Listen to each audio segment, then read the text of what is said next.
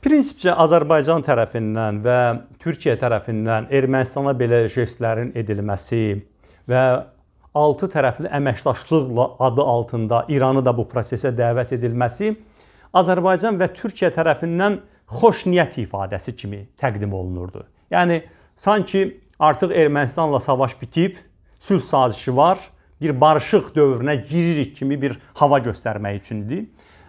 Beynəlxalq imic baxımından prinsip etibarilə hər iki dövlət başçısı üçün bir problem yaratmayan, hətta bəzi hallarda üstünlük gətirən təşəbbüslərdir, amma əvvəlcədən məlum idi ki, real deyil. Nəyə görə real deyil? Ona görə real deyil ki, Ermənistanı biz hərbi cəhətdən məğlub etmişik. Siyasi cəhətdən məğlub edə bilməmişik. Özümüz özümüzə o deyirik ki, tez-tez dövlət başçısı deyir, kapitulyasiya oldular, məhv oldular. Olmayıblar kapitulyasiya. Kapitulyasiya nədir? Təslim olub sülhün diktə olunmuş şərtləri ilə barışmaq. Barışmayıblar. Təəssüf ki, hələ də Qarabağda revanş haqqında düşünürlər. İndi həmin o uydurma rejimin başçısı yanvar-fevral aylarında növbəti səfərbərlik haqqında öz aləmində fərman verir. Ordu qururlar.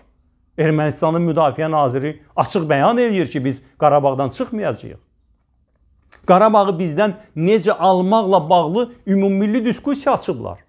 İndi həmin o qondarma rejimin dünya tərəfindən tanınması üçün böyük proqram həyata keçirdirlər.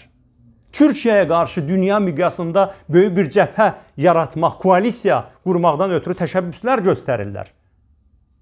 Bunlar təslim olmayıblar ki. Biz özümüzü aldatmalı deyilik. Hə, ola bilsin ki, kimsə PR məqsədi ilə desin bunu.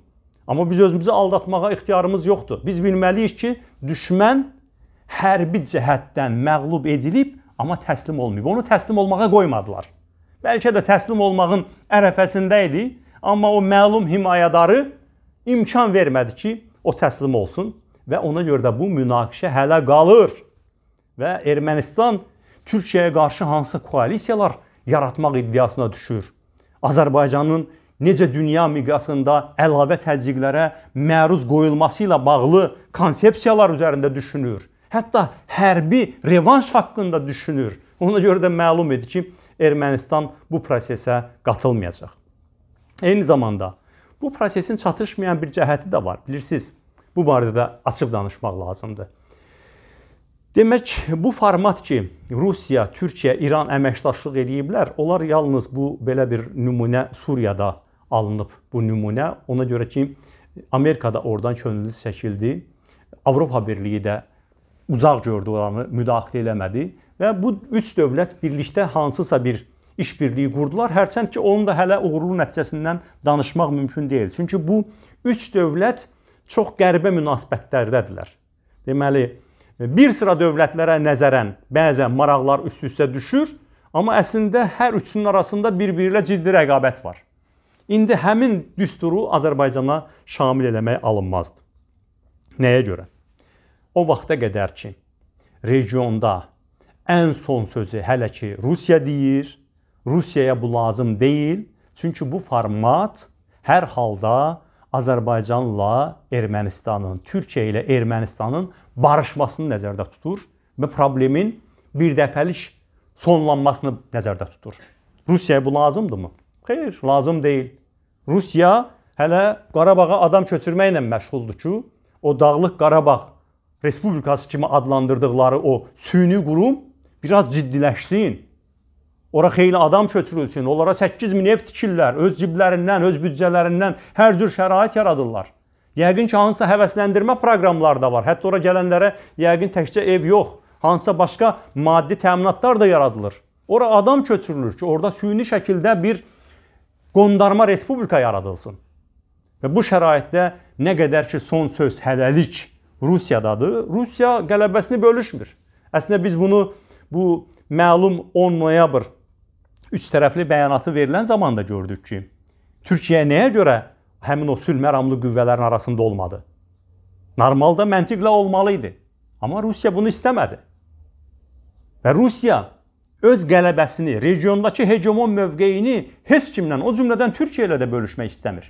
Ümumiyyətlə Rusiya bəzi məqamlarda Türkiyə ilə nə isə paylaşır, amma bunu eləyir yalnız son çarə kimi. Harada ki mümkün deyil onu paylaşmamaq. Harada imkanı varsa, onlara elə gəldi ki, Cənubi Qafqazda imkanları var. Onlar o kontrolu Türkiyə ilə də paylaşmadılar. Yoxsa elə Türkiyə sülhməramlı qüvvə kimi sahədə də olardı. Rusiya buna imkan verməyib. Deməli bu gün üçün hələ də çox təəssüf ki, bu bizim təəssüfümüzə səbəb olur və biz bunu açıq ifadə edirik. Regiondakı proseslərdə Rusiya son söz demək imkanını özündə saxlayıb. Necə saxlayıb? O başqa söhbətin mövzusu. Başqa bir vaxt danışarıq. Burada Azərbaycanın və Ermənistanın məsuliyyəti nə qədərdir? O da yenə başqa bir vaxt danışıla bilər. Amma faktdan gedir söhbət ki, bu gün üçün hələlik Rusiya öz hegemon mövqeyini saxlaya bilib və bundan istifadə eləyib gəlib Qarabağda öz bazasını yaradıb həm Ermənistanı, həm Azərbaycanı özü ilə barışmağa müəyyən mənada məcbur eləyib. O bu uğurunu Türkiyə ilə, İranla paylaşmaq niyyətində deyil. Ona görə bu real deyil. İkincisi, Rusiyanın hakim olduğu siyasi platformanın alternativi yalnız ola bilər Avropa Birliyinin əməkdaşlıq formatı. Əgər Cənubi Qafqaz bütövlükdə nə zamansa, yəni bu gün Gürcüstanın olduğu kimi Ermənistan da, Azərbaycan da özündə güc tapıb Avropa Birliyi ilə assosiasiya sazişi imzalasa, öz idarə etməsini Avropa standartlarına uyğunlaşdırmaqla bağlı üzərinə öhdəlik götürsə, bu günlərdə müşahidə etdiyimiz problemlərini Türkiyədə Avropa Birliyi ilə həll eləsə, Türkiyə zaten Qərb dünyasının bir parçasıdır. NATO-nun ikinci ən böyük ordusu Türkiyədir. Avropa Birliyi ilə böyük bir məsafə qət ediblər. Arada narazılıqlar var. Bu ona görədir ki, Türkiyənin böyük iddiaları var özünə görə haqlı. Avropa Birliyi ilə onu uzlaşdırmaq həmişə asan olmur. Amma bu günlərdə elə Türkiyə prezidenti açıq dedi ki, biz özümüzü başqa bir yerdə yox, Avropa Birliyində görürük. Əgər Türkiyə özünü orada görürsə, Gürcüstan artıq özünü orada görürsə, xalqlardan soruşulsa, əminəm ki, Azərbaycan xalqı da, elə Ermənistan da özünü orada görür. O zaman Avropa Birliyi standartları ilə hansısa bir əməkdaşlıq formatı qurula bilər və bunu ABŞ da dəstəkləyər, bütün dünya da dəstəkləyər belə bir format. Yəni Rusiyanın hegemon olduğu indiki siyasi platforma qalacaqsa, o zaman dediyim o altılıq alınmayacaq. İndi Rusiyanın hegemon olduğu platformanın alternativi isə hansısa regional əməkdaşlıq deyil. Çünki o regional əməkdaşlıq bu dövlətləri məsələn Azərbaycanı qismən təmin eləyər. Amma Ermənistan buna razılaşmaz. Çünki Ermənistan əgər Rusiya zontikindən, təhlükəsizlik zontikindən imtina eləyəcəksə nə zamansa, yalnız Qərb, Avropa Birliyi, NATO zontiki altına keçib imtina eləyə bilər. Əks təqdirdə o Türkiyə ilə, elə Azərbaycanla da barışmayacaq, qalacaq Rusiyanın himayəsində. Ona görə də perspektivdə hesab eləyirəm ki, biz hamımız əlbəttə o xəttə aparmalıyıq ki, hərbi hissəsi böyük bir ehtimalla bitmiş kimi görünür bu münaqişənin. Amma siyasi hissəsi qalacaq və onun həll olunmasının yolu regionun demokratikləşməsindən keçir. Regionun bütövlükdə Avropa Birliyinə inteqrasiyasından keçir. Yer gəlmişəm. Biz tez-tez deyirik ki, hərbi hissəsi əsasən başa çatıb, amma bu günlərdə biz onun təkzib eləyən bir hadisələr gördük. Bu günlərdə Hadrut meşələrində bizim əskərlərimizə edilən hücum, Azərselin əməkdaşının deməli hücuma məruz qalmağı, Cəbrayılda əskərlərimizin şəhid edilməsi və e, güya o meşələrdə, o azad edilmiş ərazilərdə erməni partizanlar var kimi bir təəssüratın yaradılması əslində məqsədlidir. Nəyə görə bu edilir? Ən azı bir neçə mesaj verilir bundan bizə. Bir, ən belə üzdə olanı budur ki, Ola bilsin ki, bütün bu proses davamlı eləyəcəyi halda Rusiya desin ki, orada 2000 nəfərə qədər sülhməramlı kontingent kifayət eləmir bütün perimetri qapatmağa. Biz hər yerə nəzarət eləyə bilmirik. Ona görə də istəyirsinizsə etibarlı nəzarət eləyə gərək biz sayı artıraq. Məsələn, bu çıxa bilər ortalığa. İkincisi, e, həmin bu dırnaqarası icazəli partizanlıqla Azərbaycanın o bölgələrin məskunlaşdırılmasına mane olmaq, ən azı bunu ertələmək məqsədləri güdülə bilər. Amma ən vacibi açığı ola bilsin ki, mesaj verilir ki, Biz bura gəlmişik sülh məramlı adı altında. Siz fikirləşməyin ki, daha müharibə bitdi. Bizə lazım olsa müharibə başlaya da bilər. Necə ki, Cənubi Osetiyada başladı. Orada da Rusiya sülh məramlıları vardı, amma müharibə başladı və Tiflisin lap yaxınlığına qədər gəlib çıxmışdı. Ona görə ola bilsin ki, həmin bu dırnaqarası partizan hərəkatları Ermənistan tərəfindən onlar icazəlidir. Mənim buna heç bir şübhəm yoxdur və həm də bu mesajı bizə çatdırır ki, hərbi parad keçirməyə çox da tələsməyin. Bugünkü hərbi uğurunuz sabah şübhə altına qoyula bilər. Bəlkə bunun mesajını verirlər bizə. Çünki biz proseslərə ümumiləşdirilmiş kontekstdə baxmalıyıq.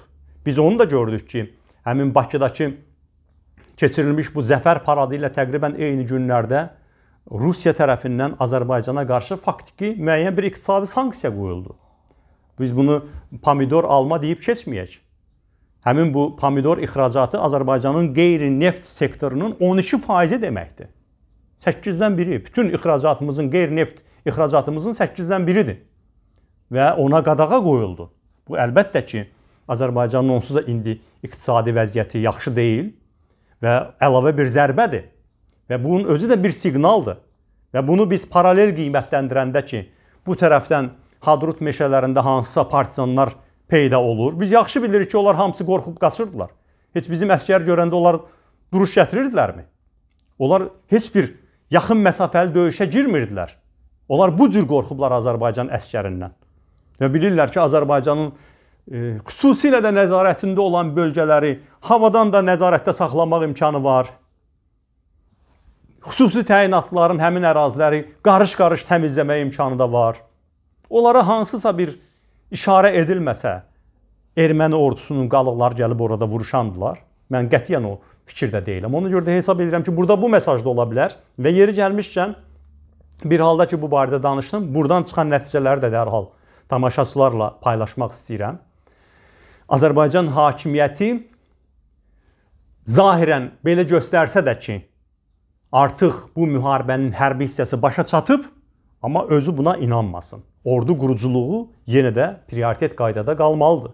Ordunun ən müasir silahlarla təchiz edilməsi, ordu quruculuğu bundan sonra da Azərbaycan hakimiyyətinin əsas prioritetlərinin sırasında olmalıdır və heç bir halda o variant kənara qoyulmamalıdır ki, tez-tez haqqında danışdığımız həmin o sülh məramlarının özlərinin gizli razılığı ilə Ermənistanda hansısa bir revanşist mövqe yaranandan sonra onlar o indi bu saat pis gündədirlər, amma bir müddətdən sonra ordunu da bərpa eləməyə kömək edərlər, yeni silahlar da onlara verilə bilər və bu variantlar kənara qoyulmamalıdır və biz də ordumuzu möhkəmləndirmək haqqında hər gün düşünməliyik.